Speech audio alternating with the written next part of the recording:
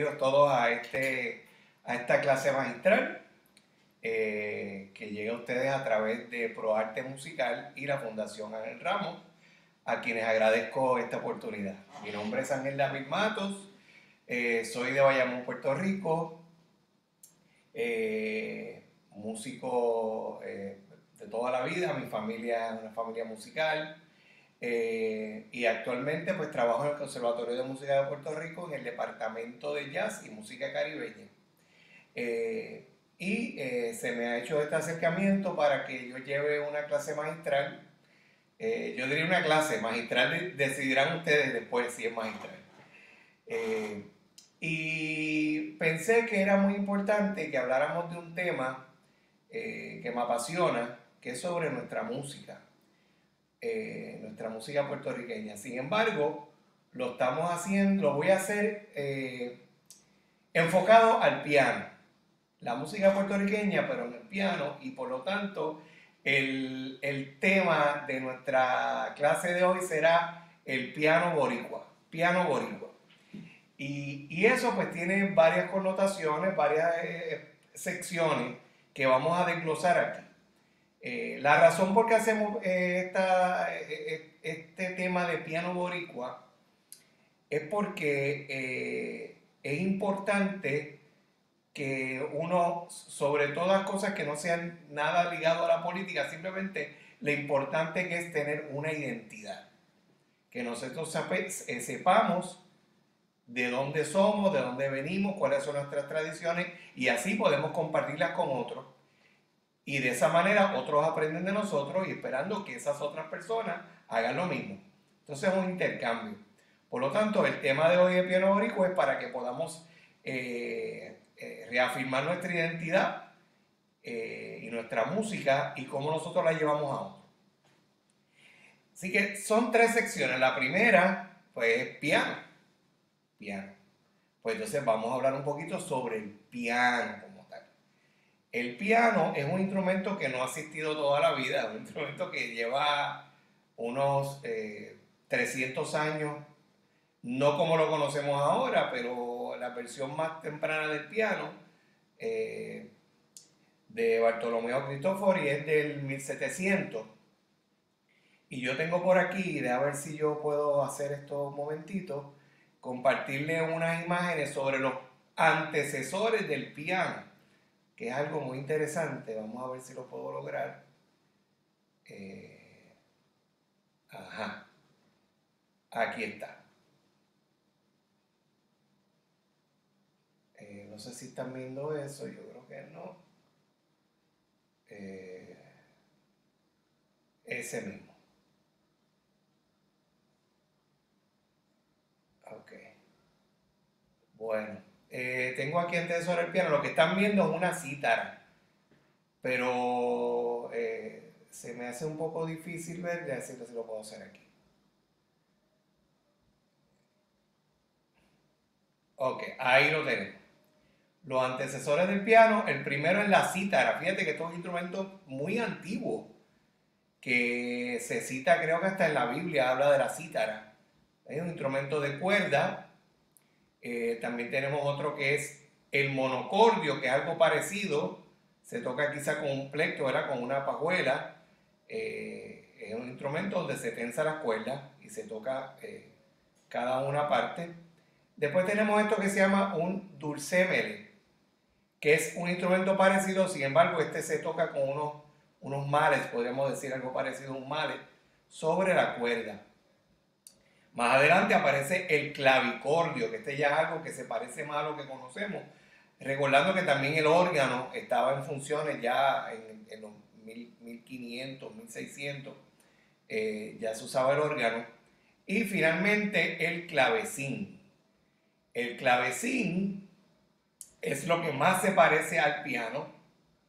El piano eh, toma su, su forma del clavecín. El clavecín que estamos viendo tiene dos teclados. Y el tener dos teclados no es que no es, que es como un órgano, simplemente que como el clavecín no reaccionaba a la fuerza, o sea, yo no podía tocar fuerte dándole fuerte a la tecla o suave, sino que había uno que sonaba un poco más fuerte que el otro y así pues podían hacer algún tipo de dinámica. Esos son los antecesores al, al piano. Y luego pues llegamos al piano. Eh, me parece que puedo hacer aquí. Eh, creo que me están viendo, ¿verdad? Estoy, claro, todo el mundo me está viendo, ¿no? Como no, no sé, eh, ¿verdad? Pero creo que sí, sí, ok. Muy bien, pues eso es lo que vino antes del piano. Después del piano vinieron otras cosas. Entre ellas, algunas están ahí atrás. Si pueden ver la parte de atrás de mi, de mi salón, tengo varios teclados electrónicos. Tengo un piano, pero también tengo varios teclados electrónicos porque todo, la música va a seguir evolucionando, va a seguir buscando nuevas vías. Y eso es algo que no se puede ver. Así que una vez hablamos del, del instrumento, del piano, ¿verdad? Y que es un instrumento muy versátil porque el piano no solamente se puede tocar solo, sino que puede tocar acompañando a otra persona, puede tocar dentro de un conjunto, puede tocar en varios conjuntos, desde una orquesta grandísima hasta un trío, un dúo, y obviamente, como dije al principio, puede tocar solo. Así que es un instrumento muy versátil. Entonces, nosotros como pianistas, y le estoy hablando ahora a los que son pianistas, y esto se le aplica a todos, eh, necesitamos estar conscientes de que nuestro trabajo aparte de que sea musical, también es físico. Nosotros tenemos que mover músculos, dedos, articulaciones. Y eso se tiene que mantener en forma, porque si no está en forma, pues entonces a la hora de tocar nuestro instrumento va a ser mucho más difícil. Por lo tanto, nuestra parte, cuando hablamos del piano, en este momento vamos a hablar de lo importante que es un calentamiento para poder entonces enfrentar nuestro instrumento. Primeramente, es importante que nuestros cuerpos, nuestros músculos estén, estén debidamente estirados. Eh, yo recomiendo que usted estire, que la mano es, elástica, uno piensa que no, pero la mano es elástica. Esto aquí estira, igual que las bailarinas se estiran y los, y los, y los, eh, eh, atletas se estiran antes de trabajar en, su, disciplina, nosotros también tenemos que hacerlo. Por lo tanto, yo recomiendo que usted estire. Yo muchas veces lo que hago es que pongo los dedos aquí y lo voy, lo voy a dejar arrastrando hacia acá para que se vaya abriendo. Y de esa manera vamos estirando con cuidado, nunca lastimarse. Siempre, si usted le duele algo, deténgase. ¿Ok? Muy bien, estiramos los dedos. Aquí también estiramos. Yo lo hago así y va estirando. Yo siento como esa parte de, la, mano va estirando los dedos. Muy bien. Tenemos ahí, entonces vamos ahora a estirar nuestras muñecas. El que ve el video dice que el maestro estaba haciendo alguna meditación y lo que estoy haciendo es estirando, estirando las muñecas. La muñeca es importante que esté estirada. Pues uno pone aquí y va subiendo los codos manteniendo las manos juntas. Y usted va estirando, va estirando, va estirando poco a poco, suelta, vuelve a estirar un poquito. No le duela, si le duele algo, tiene que detenerse. ¿Ok? Soltamos, soltamos bien. Y ahora viene al revés. Este, este es un poquito más incómodo, pero usted lo hace con cuidado. Usted pone sus manos así y entonces baja los codos. Baja los codos, como las mariposas que hace la gente cuando se sienta. Para estirar. Un ratito. Y siempre después te agita sus manos y las relaja bien. Eso, aunque usted no lo crea, te prepara porque la sangre empieza a, fluir a través de los músculos y eso es lo que nos da un poco de agilidad. Ahora, después de que uno está estirado, se vamos a hacer un calentamiento en el instrumento. Así que ahora me voy a acercar al instrumento para decirle un par de, cosas que uno puede hacer. Lo primero es que uno puede utilizar de esos ejercicios de calentamiento que a uno le dan y que a veces son algo aburridos, uno puede hacerlo algo divertido.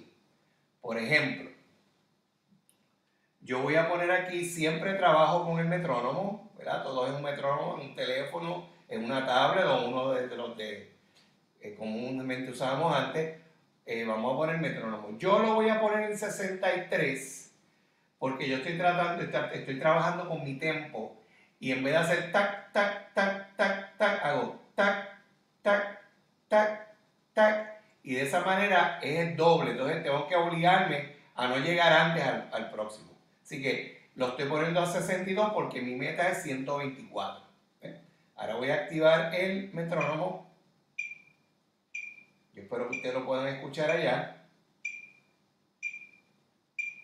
Entonces voy a hacer el Hanon número uno, el más simple. Y lo voy a hacer a cochea.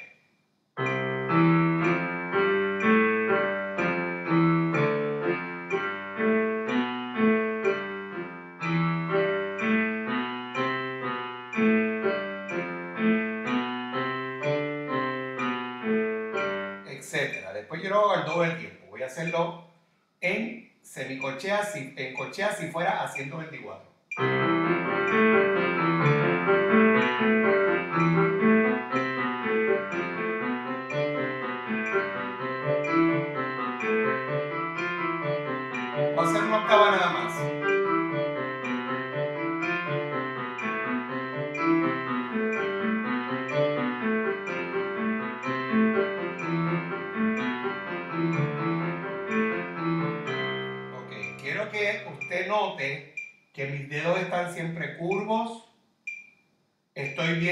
Sentado, en, en esa cámara no se ve, pero estoy sentado derecho. Mis pies están en el piso, no tengo los pies metidos en la parte de atrás de la silla. Están frente a mí. En este caso, pues no es un piano como, acústico, que tendría que tener mis pies sobre los pedales. Eh, pero tengo estoy bien sentado, estoy bien derecho, eso es importante. Ahora, a ese mismo tiempo voy a hacerlo en tresillos, por lo tanto no va a cuadrar porque la frase es de cuatro notas. Así que vamos a hacer a esa misma velocidad, pero en seisillos, como, como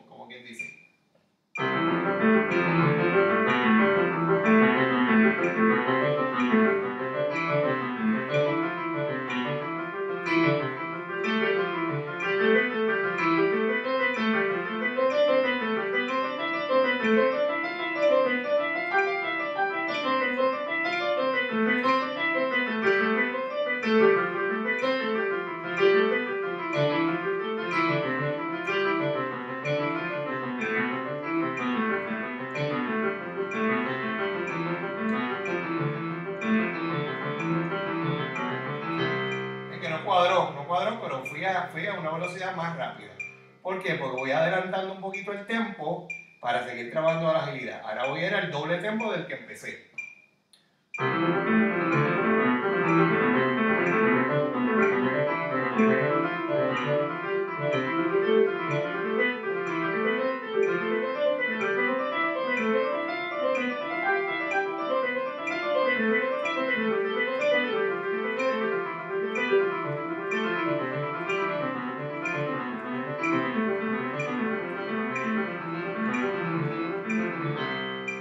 Básico, bastante básico, excepto el, el, que hicimos en grupos de seis, porque el acento va a cambiar. Pero entonces ahora voy a empezar a hacer algo un poquito más divertido. ¿Qué voy a hacer? Pues mientras que una mano va a ir a un tempo, la otra mano va a ir a otro tempo, y así empiezo a coordinar. Aquí voy a hacerlo en semicorchea y aquí lo voy a hacer en corchea.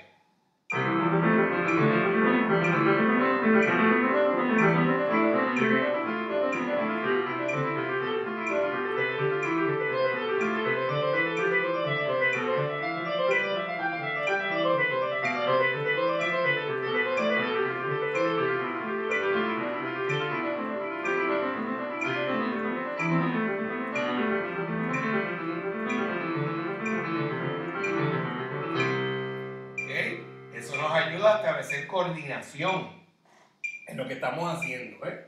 Ahora voy a hacerlo al revés. Voy a hacer aquí en corcheas y la mano izquierda en semicorchea. Ahora tengo que abrir un poco porque si empiezo aquí, fíjate que ahora cuando lo hice de la manera que lo acabo de hacer, hice dos octavas aquí, mientras aquí solamente hice una octava. Ahora, como esto va a ir ahora más rápido, tengo que poner esta mano una octava más arriba para que esta no le vaya a pasar por encima. Y ahí vamos.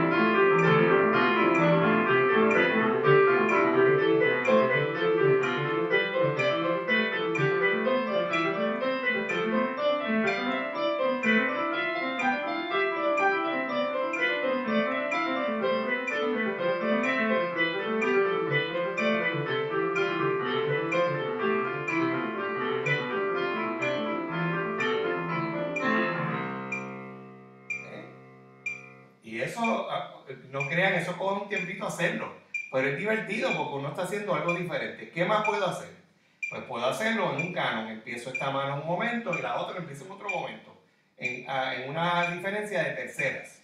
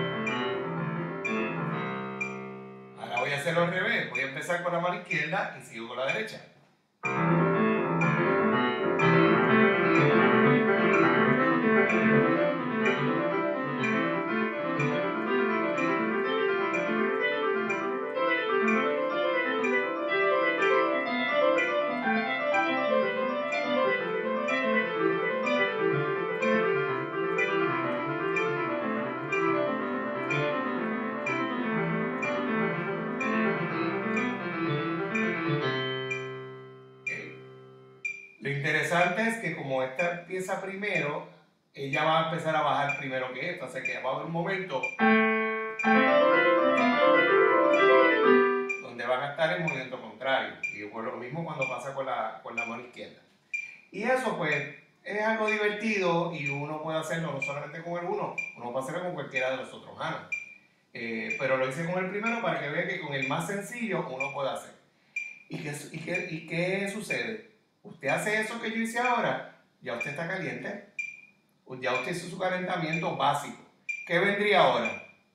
Pues ahora vendría, y voy a regresar al frente, ahora vendría eh, un tiempo para eh, escalas, arpegios, que eso es importante. Si usted hace una rutina diaria de hacer, yo primero hago lo del porque eso me calienta. Y después hago todas las escalas, todos los arpegios, y eso me toma menos de 8 minutos. ¿Qué quiere decir eso? No que es que estoy tratando de romper un récord Guinness. Lo que quiere decir es que usted tiene tiempo de hacerlo. A veces uno piensa que no puede practicar porque no tiene 7 horas para practicar. Usted no necesita 7 horas para practicar. Usted necesita un tiempo para practicar. Y si usted está muy ahorrado, tiene muchas, eh, muchos compromisos, tiene, pero usted por la mañana o al mediodía o en la tarde, usted al menos hace ese calentamiento, usted va a notar la diferencia en su práctica. Eso solamente escalas y. ¿Qué le puede añadir a eso? Pues estudio. Por ejemplo, los, libros Cherny, como los Anon, son unos libros que son muy eh, eficaces para, practicar diferentes eh, situaciones de la técnica del piano. Tocar ligado, tocar staccato, eh, una mano haciendo tresillo mientras la otra está haciendo corchea, etcétera, etcétera. Son, muchas, muchas cosas que trabajan esos libros. Journey, Hanon, que son bien famosos. de escalas y arpegios, pues está el, el, el McFarren, que tiene cada tono, tiene una, unos mismos ejercicios y realmente usted, eh, quizá usted no encuentre nunca en una pieza de piano ese tipo de, de, ejercicio, pero es como el jugador de baloncesto que va a jugar la práctica, hacer la práctica con pesas en los pies para que se le haga más difícil. Pero ¿qué pasa? Cuando va al juego se quita, la, se quita las pesas y no se vuela por la cancha. Pues usted hace esas actividades y cuando llega a tocar cosas que son más sencillas, se lo va a hacer más fácil. Así que esa es la primera parte de este eh, masterclass. La importancia del calentamiento. En cualquier instrumento, me refiero al piano, pero eso le aplica a cualquier otro instrumento. Y otra cosa que aplica a cualquier otro instrumento es que es importante su postura, si usted tiene un instrumento que usted sostiene, un clarinete, una trompeta, usted tiene que sostener el instrumento correctamente. Tiene que sentarse derecho. Usted no puede practicar trepando la pierna así y tocando, o tocando el piano así porque algo no va a funcionar bien. Así que es importante la postura y sostener el instrumento. Ok, eh, veo gente que está conectado, les agradezco que estén aquí y espero que esto les, les, sirva. El propósito de esto es que haya información que ustedes lo pueden, lo pueden encontrar útil. Bueno, pues entonces la primera parte era piano. Pero el tema de, de nuestro masterclass es piano boricua. Pues entonces ahora vamos a ir a la otra palabra, la palabra boricua. Como nos emociona que nos digan boricua, ¿verdad? Especialmente cuando uno está afuera. Cuando uno eh, está, al menos los que, los que estuvimos, como yo, viví fuera de Puerto Rico un tiempo mientras estudiaba en la Universidad de Illinois. Y esa palabra boricua, que nos la digan otros latinoamericanos, es como que algo que, que no es lo mismo que te digan puertorriqueño, que está muy bien, pero cuando te dicen boricua, como que significa algo más. Como que es puertorriqueño, pero que es puertorriqueño del corazón. Así que el, el, ser boricua implica una identidad fuerte. Nosotros los puertorriqueños tenemos un amor con nuestra bandera, que donde quiera que vamos ponemos la bandera. Usted sabe cuando van a otro sitio, a otro país, quiénes son los, los puertorriqueños que están allí, porque siempre en el carro tienen una bandera, tienen un sticker. Si usted ve por la ventana de la casa, a veces se ve una bandera. Es importante nuestra identidad. Así que, en ese aspecto, pues entonces tenemos que apreciar nuestra música, nuestra música puertorriqueña, y saber las raíces de nuestra música puertorriqueña. Porque no podemos valorar algo que no conocemos es importante que nosotros valoremos nuestra música para que otros puedan conocer de ella y puedan valorarla a través de usted. Hasta que poco a poco, de alguna manera, ellos encuentren algún valor importante para nuestra música. Eh, y vamos a empezar por lo que más se lleva con el piano en la música puertorriqueña, en la música boricua, y es nuestra danza puertorriqueña. Nuestra danza puertorriqueña es, eh, es, un, es, un, valor musical que es de una, de una sensibilidad, de una altura que quizás no reflejan otros estilos de música, no porque sean, no sean buenos, sino porque esto tiene unos elementos muy importantes. Y realmente la danza es una fusión. ¿Fusión de qué? Bueno, la danza puertorriqueña data desde los 1840. Lo, que, lo, que, lo que se empezó a convertir en danza viene a través de, de, de los diferentes movimientos musicales que estaban en Puerto Rico en ese tiempo. Por ejemplo, la contradanza, que viene de España, no llega de Europa, porque eso viene desde desde Inglaterra, viene en Francia, viene a, España y realmente el nombre contradanza es una traducción un poco eh, extraña porque realmente donde viene es del country dance y le llamaron contradanza, ¿ves? Uno piensa que quizás los que sabemos música un poco más profundamente, eh, pensamos que contradanza tiene que ver con contrapunto y con polifonía, etc. Y simplemente es una traducción. Contradanza es un estilo de música que era como el estilo del minuet, de esas que se bailaban en, grupo. Y eso es lo que había, eso es una de las cosas que había. Eh, lo otro que, había también en el área era eh, la música que llamaron habanera, ¿verdad? De nuestra hermana isla de Cuba, que también se había movido por Europa. Usted sabe que hasta el, el, eh, utilizó en Carmen la habanera.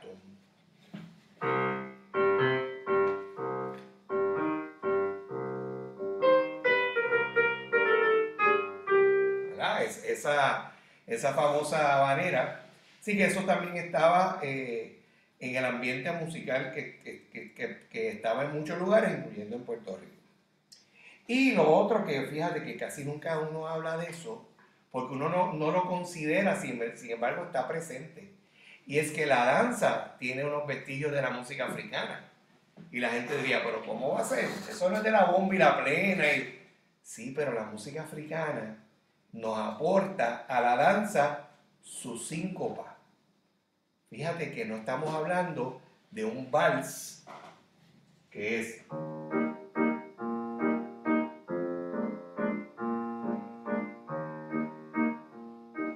estamos hablando de ese tipo de música o de arpegio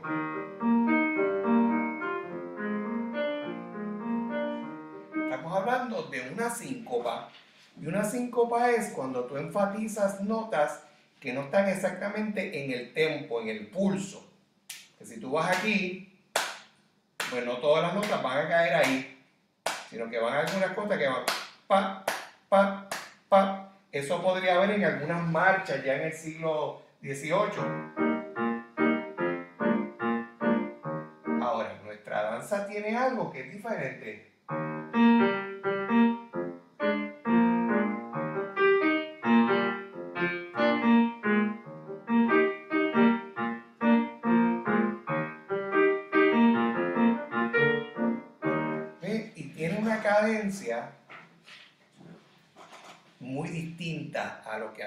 Y ese tipo de síncopa viene a través de, viene a través de la influencia africana que tuvimos todas las islas del Caribe. No solamente todas las islas del Caribe, estamos hablando de toda América. Toda América. Desde la Patagonia y yo voy a decir esto porque pienso que es así, no porque sé que es así, pero hasta la parte de arriba de América puede, puede haber habido influencia africana. ¿Eh? Eh, así que la danza tiene ese tipo de, elemento sincopado que viene de la música africana. Eh, ustedes saben que el padre de la danza, o si no lo saben, lo van a saber ahora, el maestro Manuel G. Tavares, que es un pianista de, mitad del siglo XVIII, XIX, y este pianista fue eh, inspirado a ir fuera de Puerto Rico a, estudiar. ¿Y quién fue el que lo inspiró? Esto es bien interesante. Había un pianista de New Orleans de apellido Gottschalk. El pianista Gottschalk era un pianista concertista de, de New Orleans que empezó a viajar por el Caribe. Y en el Caribe él fue eh, escuchando los estilos de cada isla. Y en Puerto Rico él vivió un tiempo y él vivió en Barceloneta. De alguna manera, que no, he encontrado el, dato de dónde, pero Gochok conoció a Tavares y vio en Tavares el potencial que tenía como pianista y Gochok, que tiene una, un trasfondo francés, le dijo, lo, lo instó a que fuera a Francia. Tavares ya tocaba en Puerto Rico y obviamente los estilos musicales que están en la isla para ese tiempo estaban dentro de él también.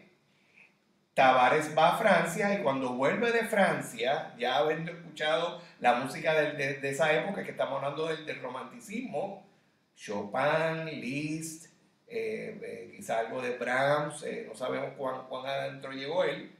él estudió esa música y cuando él llegó a Puerto Rico, él vino con el deseo de cómo yo puedo lograr algo que se parezca a eso, pero que sea de Puerto Rico. ¿Por qué? Porque Manuel Tavares era un pianista boricua. Él tenía eso dentro, él quería eh, eh, eh, aportar de alguna manera. Y él encontró en la música de la danza temprana que ya estaban haciendo y que era de unos temas, por decir la palabra, aunque no es suena un poco fuerte, pero es vulgar porque era del pueblo, era una música que los temas de las letras eran, este, como podemos decir, chabacano, eh, la falda de María, el rabito del lechón, eh, y pues obviamente, ¿qué pasó? Se prohibió ese tipo de música. ¿No le suena familiar? ¿No le suena familiar? Se prohibió. Pero entonces Tavares toma esta música y empieza a trabajar con la música que él escuchó. Y entonces él escribió lo que es nuestra danza. Una de esas danzas muy famosas es la danza Margarita. La danza Margarita es una de las danzas que se escribió en el 1870. Y es una danza que todavía a este momento la gente la conoce. Así que yo voy a tomarme un momentito, con el permiso de ustedes, y voy a tocar una versión de Margarita adaptada a nuestra realidad, adentro de la música que a mí me apasiona, que aparte de la música boricua es la música del jazz. Así que voy a tocar una versión adaptada de Margarita de Manuel G.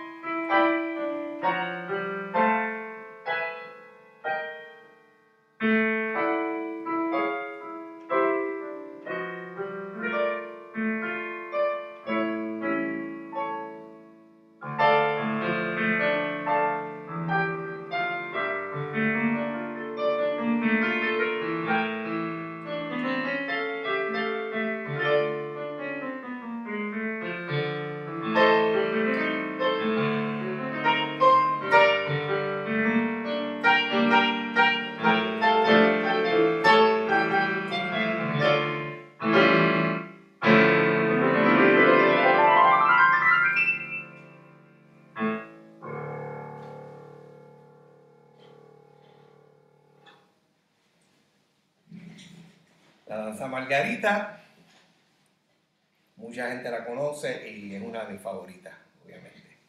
Eh, quizás porque en mi tradición familiar musical, que viene de los coros, que mi abuelo, el doctor Ángel Mato, y mi papá, que también es Ángel Mato, eh, en sus coros, pues siempre incluyeron esa pieza, Margarita. Así que de 1870, o sea que ya para ese tiempo existía la danza puertorriqueña como la conocemos así, en ese estilo eh, de, música para concierto.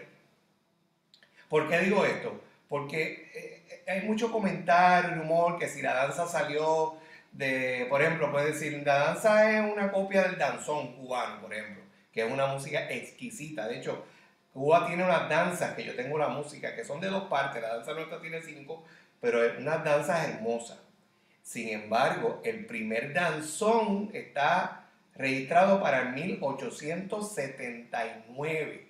Por lo tanto, nuestra danza ya existía. Tampoco estoy diciendo que el danzón salió de la danza puertorriqueña, porque si algunos conocemos algo sobre evolución es que las eh, especies contemporáneas no pueden salir una de las otras. O sea, usted no puede ser hijo de su hermano. ¿Ok?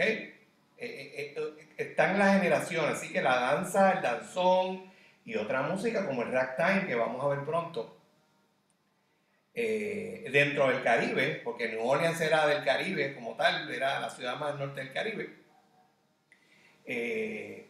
pues están unidas, están conectadas. Recuerden que entre las islas había mucho tráfico.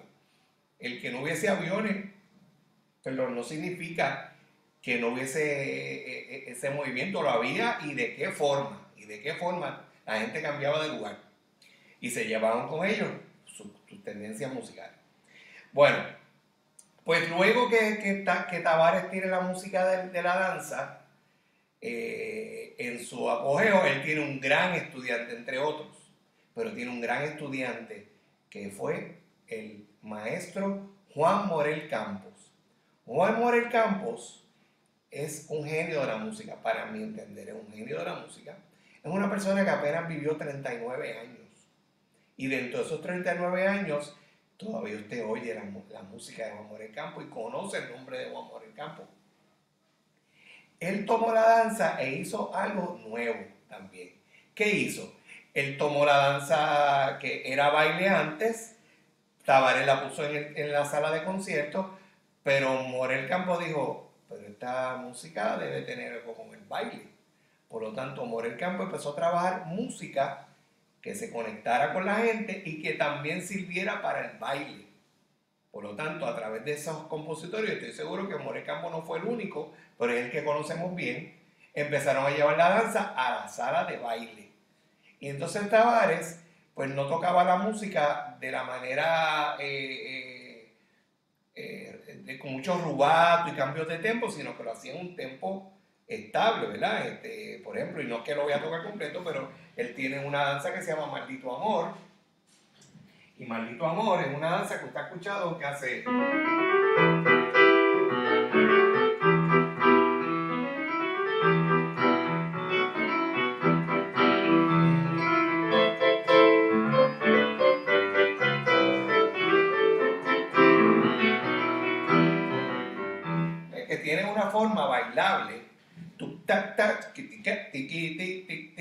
y esa música se llama danza festiva. La danza margarita es una danza romántica que tiene otros estilos y más adelante yo le voy a dar uno, le voy a compartir una, una forma de cómo tocar varios estilos puertorriqueños en el piano. Empecemos la danza porque es la que, la que tiene piano desde el principio en su historia. Sin embargo, hay otros tipos de música que también nos gustan y son de nuestra tradición. ¿De cuál estoy hablando? Pues estoy hablando de, de, estos estilos que voy a decir, que los voy a hablar, eh, los voy a mencionar juntos, no porque sean, no sean, eh, que sean de lo mismo exactamente, sino porque comparten algo. ¿Cuáles son? Pues la bomba, la plena, el 6 y el aguinaldo. ¿Por qué los voy a unir? Bueno, no es porque sean similares en sonoridad necesariamente, sino porque en sus formas originales el uso del piano no se incluía. La bomba no se tocaba con piano, ni la plena tampoco. Y los aguinaldos y los tampoco. Ninguno de ellos se hacía con piano. Porque, bueno, podemos decir primero que tener un piano en el siglo XIX no era para todo el mundo no todo el mundo podía tener un instrumento como un piano accesible. Aparte que si tuvieran un piano disponible, no había muchas maneras de moverlo. Era un poco más difícil mover un piano. Si es difícil ahora, imagínense antes, con una carreta o con otro tipo de vehículos que no eran apropiados. Por lo tanto, ¿qué era lo más común? Pues la guitarra, el cuatro, esos instrumentos eran más comunes porque eran, más, eran más accesibles a las personas. Por lo tanto, siendo esos instrumentos los que tenían a cargo dos funciones, la parte armónica y la parte melódica, pues cuando el piano finalmente empieza a entrar dentro de ese, eh, ese mundo de esta música que no usaba piano, pues se va a copiar de los patrones de acompañamiento o patrones rítmicos de lo que tocaba el cuatro o toca la guitarra o incluso los patrones de los instrumentos de percusión. ¿Por qué? Porque el piano es un instrumento de cuerda y de percusión. Usted puede llevar un ritmo con el piano, igual que con la guitarra. La guitarra es armónica, pero el golpe de la guitarra le establece el ritmo como si fuera un instrumento de percusión. Así que la bomba, la plena, el 6 original han incluido el piano, pero el piano ha tenido que dejarse llevar por esa guía. ¿verdad? Por ejemplo, eso no solamente pasó en la música puertorriqueña, podremos decir, y esto yo lo iba a hacer más adelante, pero lo voy a hacer ahora, eh, lo tenía un audio, pero no me funciona el audio, así que yo voy a hacer el, voy a hacer el intento de demostrarlo. Eh, ustedes saben que la música, eh, el son cubano, por ejemplo, que es tan, tan maravilloso y tan, tan pegajoso, ¿verdad? Y que ha, influenciado el mundo, ¿verdad? el piano empezó a tocar lo que en, un principio tocaba el 3, el 3 cubano, que es como si fuera el 4 nuestro. Es el instrumento que toca. De hecho, yo estuve en Cuba hace un, a principios del 2020 y pude ver que muchos lugares tienen conjuntos de música cubana, eso es bueno, que ellos tienen su música antes, la tienen ahí para los turistas. Ellos tocan con el 3. Ahora, ¿qué sucede? El piano en la música eh, cubana y la música puertorriqueña eventualmente toca un patrón en el piano que se llama el montuno. El montuno es algo que usted conoce como esto.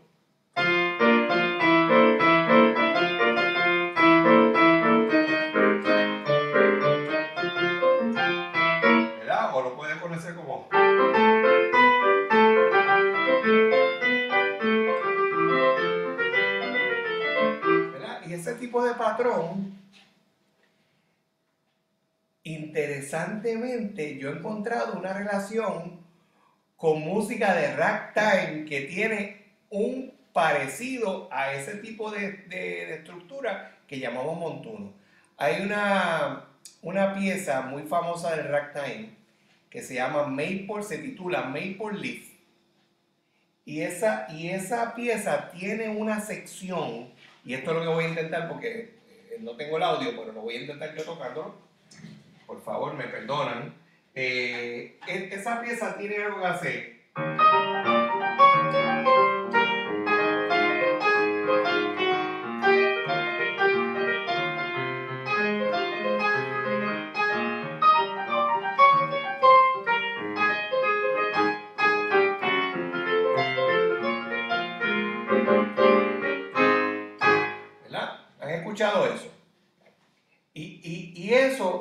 Parece que es interesante en la parte del piano arriba, que hace.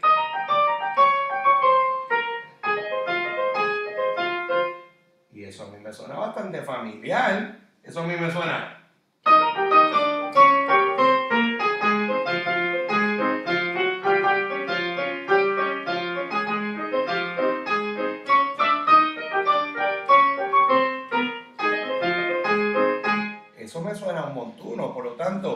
Esos patrones de, rítmicos existían ya. Y estoy seguro que toda esa música se fue corriendo por el Caribe. Y eso llega a que de la misma manera que el piano se va a incluir en la bomba y en la plena y los aguinaldos, usando el 4, es muy probable que la música de New Orleans haya influenciado la forma de tocar el 3 cubano, que toca algo parecido, ¿verdad? No exactamente eso, pero tiene una semejanza muy particular. Así que eh, en, la, música de la bombilla plena, eh, el piano pasó después a ser un instrumento más útil porque, porque hacía falta un sonido más fuerte en el instrumento. Estaba compitiendo ya con una orquesta más grande. El 4 todavía lo toca, pero el piano podía tener un sonido un poco más fuerte. Así que hemos visto que con la creciente accesibilidad al instrumento, eh, se empezó a utilizar más. Y estoy seguro que ustedes han visto el uso del piano por ejemplo, en, el, conjunto eh, eh, donde Rafael le ha tocado por tanto tiempo, en el Gran Combo, pero eh, desde antes ya Itiel estaba tocando el piano en diferentes conjuntos, han escuchado a Noro Morales, han escuchado a Papo Luca, ¿verdad? Este, tocaba con Cortijora que tocaba el piano y después con el Gran Combo. Así que el, el, uso del piano empezó a popularizarse. Y entonces los patrones que tocaba el 4, pues ahora se tocan tanto en la, en la bomba como en la plena. Y aún no hemos visto eso concretarse en la música campesina. ¿Verdad? Cuando hablamos de bomba y hablamos de plena, voy a tratar de poner aquí un audio a ver si ustedes lo oyen, pero ustedes todos conocen, ¿verdad? Me imagino. Eh, tenemos una, voy a poner aquí una pequeña bomba, que esto es de Willy Colón, pero que se, estaba utilizando ya, ¿verdad?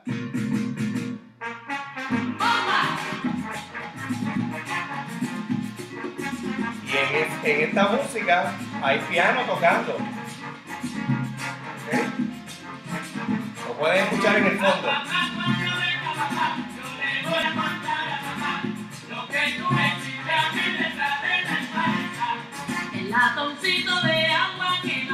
¿Verdad? Y también en la música de la en la música de, de, la, de la plena, pues también.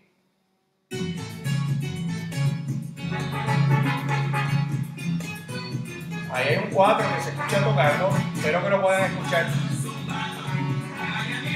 Pero hay un piano tocando.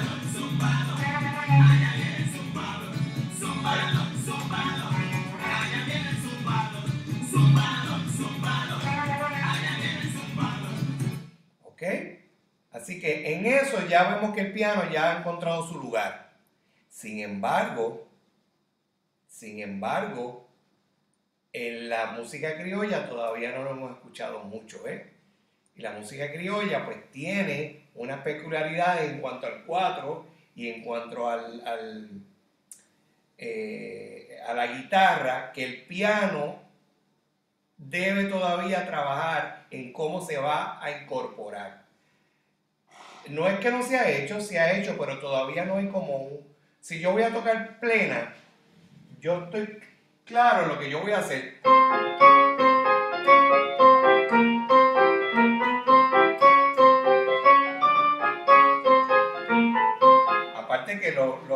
Uso de los montunos, en otra música como, la, como el merengue, que también se usaba el acordeón, pero también el piano ha caído en eso, a tocar lo que tocaba el acordeón, pues tiene esa peculiaridad. Así que yo sé más o menos, y si voy a tocar bomba, pues yo sé, que voy a hacer algo parecido, pero fíjate que todo tiene que ver con el montuno, con el estilo de montuno, porque eso es lo que hacían los instrumentos de cuerda. ¿eh? Así que eh, en, la, en la música campesina, pues ya eh, hay que buscar la manera en que el piano se pueda incluir. Yo tuve la gran bendición de haber participado con Pedrito Guzmán en su grupo Jíbaro Jazz por unos cuantos años y grabé un par de discos con él. Eh, y era interesante porque como tenían guitarra y cuatro, el piano no podía estar entrando a tocar también montunos con el, con el cuatro o con la guitarra. Así que yo tocaba más un estilo de bloques ¿verdad? Eh, y, de, a veces entonces entraba a trabajar con el montuno, pero tenía que tener mucho cuidado que no chocara con la guitarra y no chocara con el cuatro. ¿eh? Así que todavía el piano está buscando su lugar dentro de la música eh, del 6 y del aguinaldo, que es maravillosa. Nuestra música campesina es maravillosa. Yo estoy haciendo un invento que estoy tratando de hacer, pero eso vendrá al año que viene, si Dios permite. Eh, ok, entonces dentro de nuestra música también tenemos el concepto de la salsa, que el piano también participa ahí. El concepto de la salsa, pues obviamente recuerden que la salsa es un, movimiento que se dio en los 70 y los 60, donde tanto puertorriqueños del área de Nueva York como los que estaban en Puerto Rico utilizaron música que ya existía y la fueron a reorganizar, como pasa con todo. Las cosas que se inventan no se inventan de la nada se inventa con lo que ya hay. y hay unos elementos cubanos, unos elementos puertorriqueños, unos elementos de la música de, de, Estados Unidos, del soul, del jazz, del son cubano, de la bomba, de la plena. Todo eso hizo un surgir, un resurgir de una música caribeña a quien le pusieron luego salsa. Y el piano es muy importante en esa música. De hecho, muchos de los directores musicales de los grupos más conocidos de los 60 y los 70 eran pianistas. Por ejemplo, Richie Ray. Richie Ray es un, pianista que está en la salsa, pero que tiene un gran entrenamiento clásico. Y también toca jazz, o sea, que, es una persona que tiene una amplitud en su conocimiento. Eddie Palmieri, Charlie Palmieri, Papo Luca. Estamos hablando de, personas que dirigen conceptos que son muy famosos en el mundo entero. Y son todos, en este caso, músicos puertorriqueños que llevan nuestro estilo de la salsa a otros lugares. No por restarle mérito a lo que hayan aportado otras, eh, Cuba y haya aportado Venezuela y Colombia y otros lugares, es un trabajo colaborativo, pero es importante notar que la parte puertorriqueña es crucial en, el, desarrollo de ese estilo de la salsa. Eh, y por último, quería hablar un poquito, tenemos, eh, estamos bien de tiempo, eh, tenemos el otro el aspecto de la música puertorriqueña porque esta música es de patrimonio del mundo. Igual que la salsa es patrimonio del mundo y mucha música es patrimonio del mundo, esta música es patrimonio del mundo y es obviamente el, estilo del jazz. Y el jazz ya tiene una vertiente dentro de la música boricua. De hecho, mi proyecto personal de la música de jazz se titula Jazz Boricua. Y no solamente lo he hecho yo, lo han hecho muchos otros compañeros, Pedrito Guzmán, como les dije hace poquito, eh, Miguel Zenón, David Sánchez, William Cepeda, Furito Río. Estamos hablando de grandes músicos que han hecho sus proyectos en el jazz a través de la música puertorriqueña. Y pianistas que se han destacado en el jazz, no necesariamente porque es música boricua, sino porque se destacan en el jazz. Tenemos a Hilton Ruiz, tenemos... Eh, tenemos este, eh, en Puerto Rico tenemos a Moni Nacer, eh, Frankie Suárez, tenemos a Brenda Hopkins, tenemos eh, a Luisito Marín, que también toca salsa, un gran pianista de salsa. me incluyo en ese, ¿verdad? Yo estoy dentro de ese grupo de los que estamos trabajando en el jazz. Otros músicos como Palmieri, ambos, Charlie, Eddie Palmieri, Eric Figueroa. Hay muchos pianistas puertorriqueños que han trabajado dentro, de la, dentro del jazz y se han destacado pianistas. De aparte de eso, pues tenemos muchos más. Eh, pero es importante que nosotros reconozcamos la aportación nuestra dentro de estos estilos y que todavía tenemos que hacer una mayor aportación dejando conocer nuestra música autóctona. La danza, la bomba, la plena, los aguinaldos, aguinaldos y seis, y de, la música de la salsa que sí ha ya corrido el mundo entero, ya es un estilo que pertenece al argot de la, de la música mundial. Ahora, antes de, de ¿verdad? para concluir, ahora ya hicimos piano, hicimos boricua, ahora qué vamos a hacer? Ahora vamos a hacer piano boricua, es lo tercero, piano boricua. Y para eso quiero compartir con ustedes unos estilos de música puertorriqueña adaptado al piano, porque quizá usted eh, toca piano y ha aprendido sus clases, sus clases de piano, piano eh, conservador, regular, cuando, es por no decir clásico, pero que se dedica más a la música clásica, música que ya existe y usted lo que hace es recrear la música. Y usted quizás no se atreve a enfrentarse a tocar música popular, que mucha parte de esa música hay que tocar, como dicen por ahí, hay que tocar de oído, porque no está escrito. Pues yo hice un escrito sobre los patrones del piano en diferentes estilos. Algunos ya existían, otros he tenido que trabajarlo como los seis y los aguinaldos porque no hay un patrón exacto. Pero voy a hacer aquí compartir este, esto con ustedes. Me parece que yo se, lo, yo se voy a hacer llegar a los compañeros de ProArte Musical para que ellos puedan hacer disponible esto que les voy a enseñar. Usted lo pueda bajar en PDF y pueda hacer uso de él. Voy a para hacer el procedimiento de compartir la pantalla. Vamos a ver si me sale. Sí, Windows. Ok. Aquí está.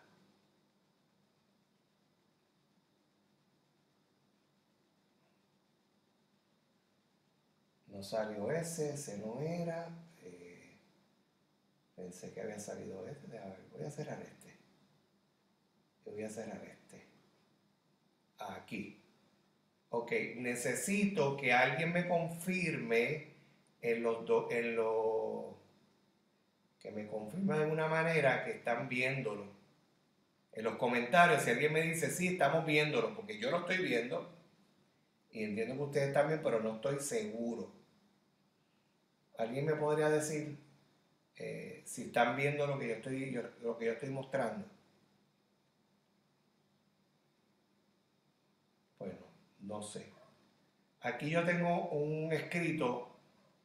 Ok, gracias Julio, gracias. Ok. Aquí ven que dice piano boricua. Eh, ¿Qué dice aquí? Pues hay cosas que ya están escritas. Por ejemplo, Aquí tenemos, un, esto no es una danza, esto es simplemente un patrón de acompañamiento de danza, un patrón. Aquí hay unos acordes, pero muy bien podrían ser otros acordes y usted aplica. Si usted no tiene mucho conocimiento, De, de, hecho, no necesita tanto conocimiento como que usted improvise. No, como usted sabe los acordes, 1, 3, 5, la raíz, la tercera y la quinta, con eso usted trabaja a veces con la séptima. Por ejemplo, aquí tenemos un estilo de danza romántica. Básicamente, como usted podría, le dice, vamos a hacer este, se nos ocurre hacer, estoy en la iglesia y se me ocurre hacer un himno y quiero hacerlo en danza, Por decir algo. Pues yo digo, voy a hacer este, e, esto que tiene estos tres acordes y voy a hacer, déjame cómo hace la mano izquierda.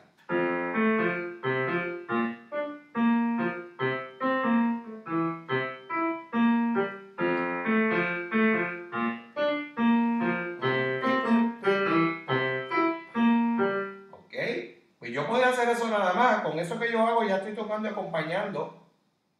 Ya estoy acompañando. Pero entonces yo puedo entonces añado quizás unos acordes en la mano derecha.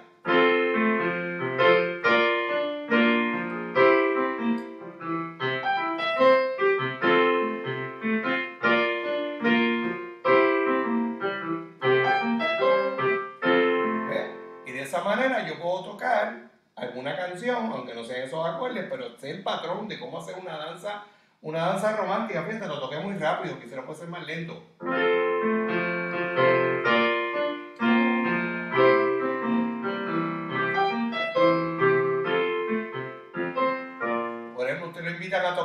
Tocar, va a tocar Verde Luz y la música no está escrita para piano, usted sabe qué es.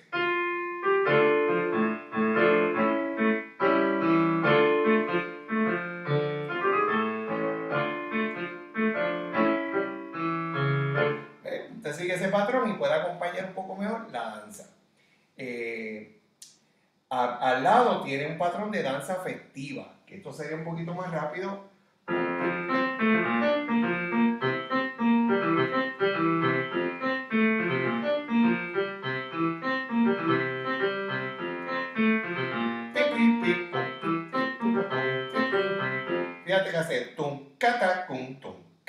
Eso es como una guaracha.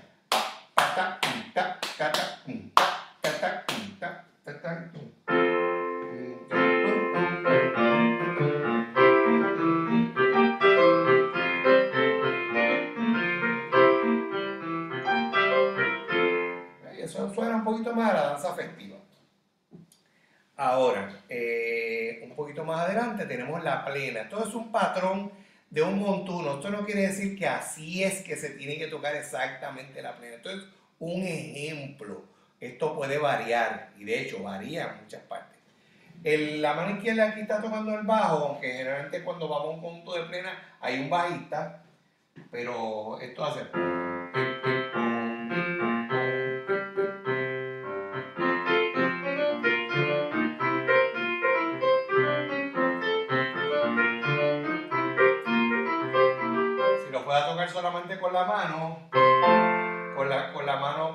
sin tocar el bajo.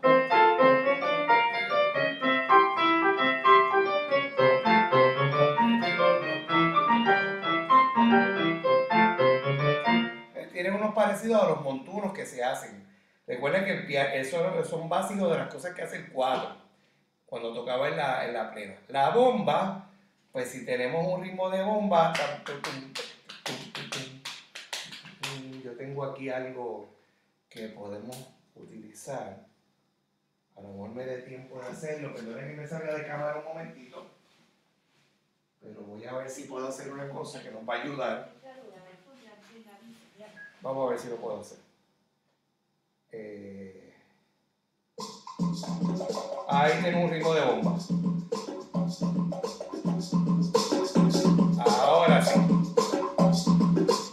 Tenemos la bomba. Esa es bomba fica. Hay muchos tipos de bombas.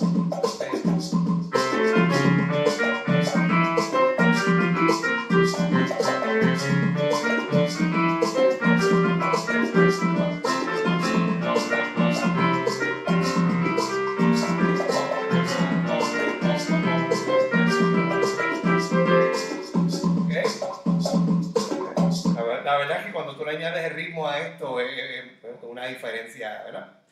Ok, entonces aquí yo le escribí unos patrones de salsa, eh, que es lo mismo, le voy a decir, hay muchos patrones de salsa. Eh, hay un libro que se llama, eh, yo tengo un libro que, que, que habla de la salsa, que es el salsa Salsa Piano se titula el, libro, lo pueden buscar de un compañero pianista colombiano. Eh, salsa, salsa piano, búsquelo. Y ahí tiene muchos patrones. Aquí tiene uno, ¿verdad? Si hacemos eh, la clave,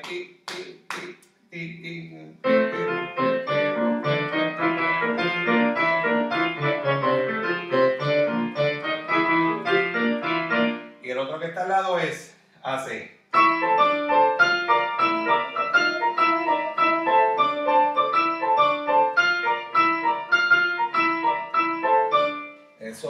Una canción de Rubén Blades, Sin tu cariño, que tiene esa parte, eh, el piano de Papo Luca que toca en esa pieza.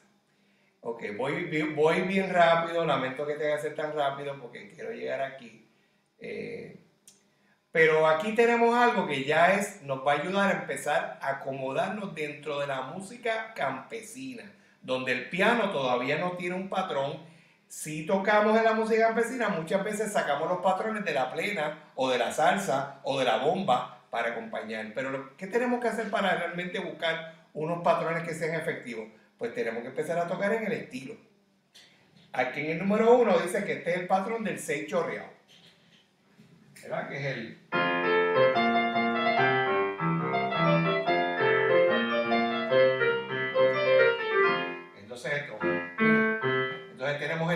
música.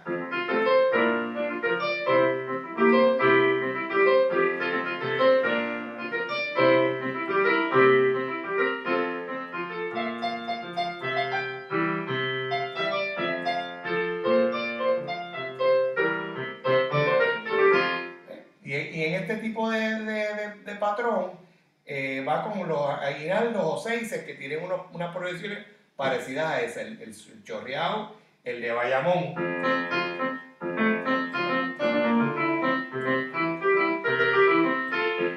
El de Andino, que es igual al chorreado, pero más lento.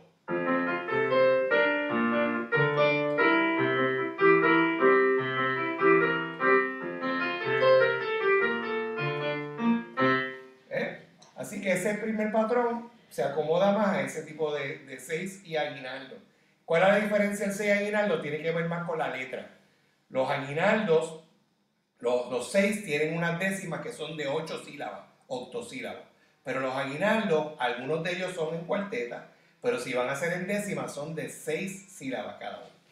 Ok, y esto es un aguinaldo.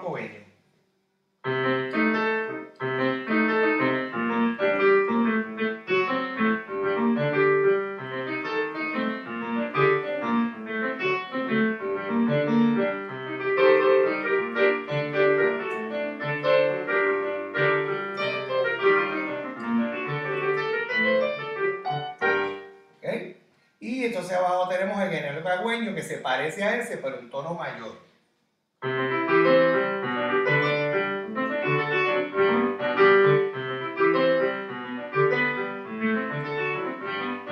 Si yo estoy acompañando un trovador, pues yo quizás haga eso.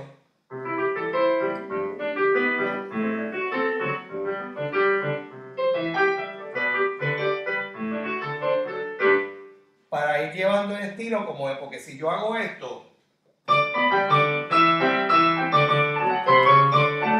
se va a salir del estilo. Tenemos que trabajar dentro del estilo, dentro del estilo de, la música campesina y, no alarla tanto hacia otros, porque es fácil.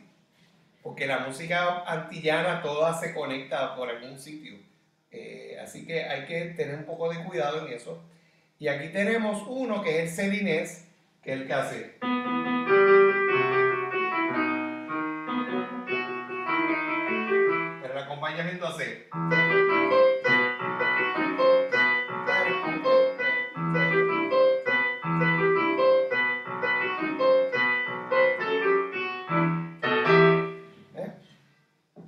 Esto es un resumen muy cortito, esto necesita mucho trabajo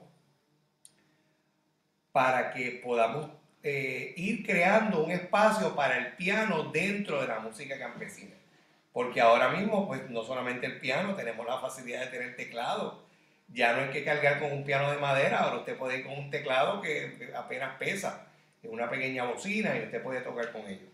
Así que esto es un, como dicen en, en, en Castilla la Vieja, It's a work in progress.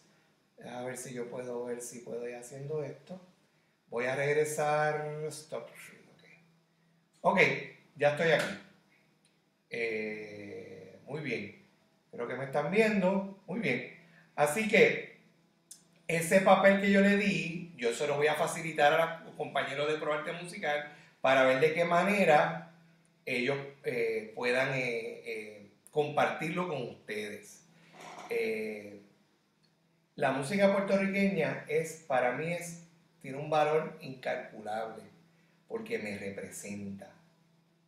a mí me representa esta música. Y es importante que cuando la hagamos, dejemos saber que es nuestra. Por ejemplo, eh, Ricky Martin eh, hizo un tema muy bueno en plena.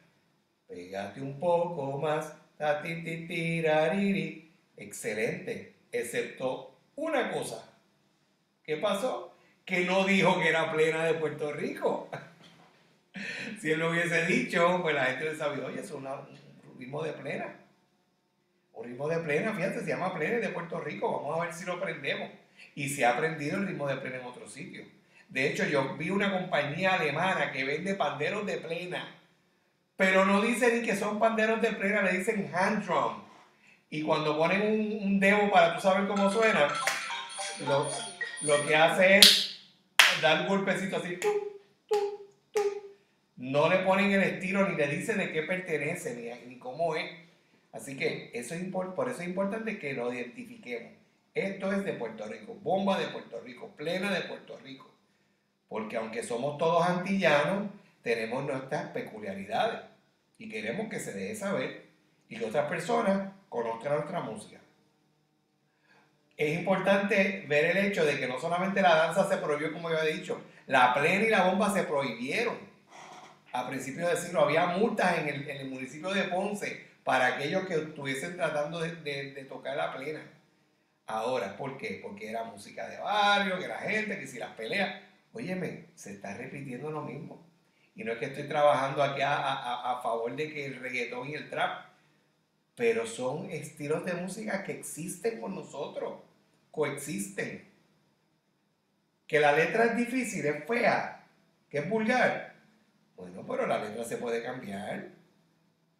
Me parece que, que, que, si nosotros absorbemos esa música dentro de la cultura, va a mejorar. Si la tenemos aparte, pues entonces no va a tener ese espacio y van a seguir usando gente que quizás no tiene las destrezas que otras personas mejores preparados tienen. Así que no sabemos si en unos años ese ritmo de reggaetón, que si tú lo oyes, parece ritmo de plena, porque tum, ca, tum, ca, tum, ca, tum, pa, tum, tum, tum, pa. Es bien parecido. Así que hay espacio para crecer. Tenemos mucho espacio para crecer. El piano tiene muchas posibilidades Aquí como tenemos aquí atrás los teclados tienen muchas posibilidades, son instrumentos diferentes. No es lo mismo tocar un teclado que tocar un piano, hay que trabajarlo porque las notas son largas, se extienden, vibran, se pueden mover medio tono para arriba, un slide para abajo. Tienen sus peculiaridades, pero también son parte de, la, evolución del piano. Eh, así que, bueno, pues yo creo que hemos cubierto bastante del material. Eh, estoy agradecido de su audiencia, agradecido a ProArte Musical y a la Fundación Ángel Ramos por esta oportunidad que me han dado de compartir con ustedes esta clase. Ya ustedes dirán si fue magistral o no fue magistral. Eh, yo me considero un estudiante, como siempre, aunque soy profesor, pero soy estudiante porque sé que siempre tenemos cosas que aprender. Y uno aprende del que menos uno piensa. Eh, así que tenemos que tener nuestro oído atento a todas esas influencias y abrir nuestra mente a las posibilidades que puedan surgir en el futuro. Eh, así que ya dando esto por terminado, les agradezco, espero que estén bien, que disfruten el verano, que se cuiden eh, para que esta situación la podamos superar.